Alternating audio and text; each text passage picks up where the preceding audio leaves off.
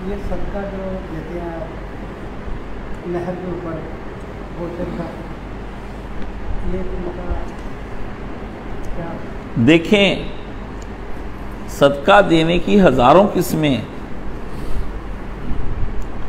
जानवरों को खाना खिला देना भी सदका है। ठीक है? कोई बुरी चीज़ नहीं, हलाल चीज़ उनको दें।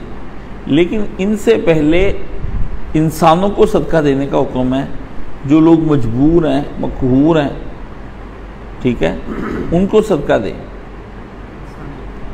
तो ये जो रवायती सदके हमारे ना, दाल माश की और दो दालें इकट्ठी करके आप कब्रस्तान तशरीफ़ लेके जा रहे हैं, वो दाल माश की किसी गरीब के घर दें, वो माश की दाल ही पका बड़ी महँगी हो गई। कब्र शरीफ के ऊपर जो आपने कपड़ा चढ़ाना है, वो किसी गरीब को कपड़ा ले दे वो कपड़ा पहन ले, उसके कोई काम आ जाएगा। किसी बच्चे की फ़ीस दे दें। ये जो सोसाइटी आपने तरतीब दे ली है, ये इंतहाई ख़राब सोसाइटी बना ली है। ये एक मुसीबत बन गई है। और अजीब बात है, जितनी आप इस सोसाइटी की गुर्बत ख़त्म करते जा रहे हैं, करना चाहते हैं, उतनी बढ़ती जा रही है। ये कभी नहीं आपने सोचा, ऐसा क्यों हो रहा है? मतलब आप चाहते हैं कि हर साल आप सारे गरीबों को गोश्त खिला दें। पर गरीब रजते ही नहीं, हराम के गरीब हो गए बदमाश और गुंडे गरीब हैं। हैं जी? आप चाहते हैं कि आप इन गरीबों को कपड़े ले दें? वो गरीब जो है, वो तो उनके टशन ही और हो गए ये गरीब हैं। अब गरीबों ने एक काम पकड़ लिया मांगने का, उनका अंदाज हो गया कि वो हर वक्त ही गरीब रहते पहले गरीब और थे, वो अपनी चीज़ लेके अपनी हालत दुरुस्त करके कहते भाईजान बस अब नहीं मैं सदका खैरात लूँगा, ये किसी और का हक है, उसको जाके दे दे। मैंने एक दो अपनी ज़िंदगी में गरीब ऐसे देखे हैं। उन्होंने कहा, नहीं बेटा, अब तेरी खाला के इधर हक मैं गया, खाला जान ये आप उन्होंने कहा, ना ना, मेरा पुत्र, अब छोटा लड़का भी काम करने लग गया, वो भी काम करने लग गया। अब तो अल्लाह का फजल है।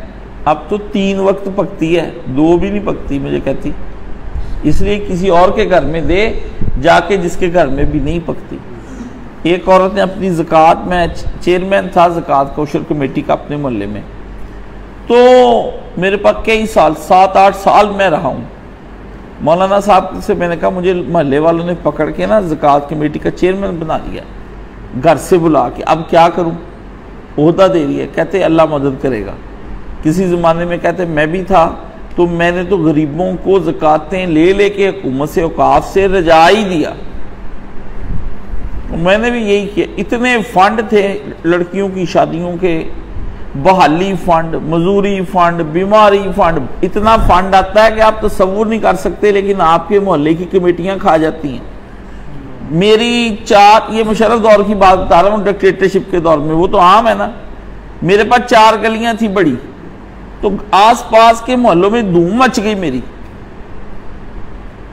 कि उस लड़के ने इस मोहल्ले में आते ही जनाब खुशी की लहरें भाग कोई मेरे चार मोहल्लों में कोई घर गरीब नहीं था।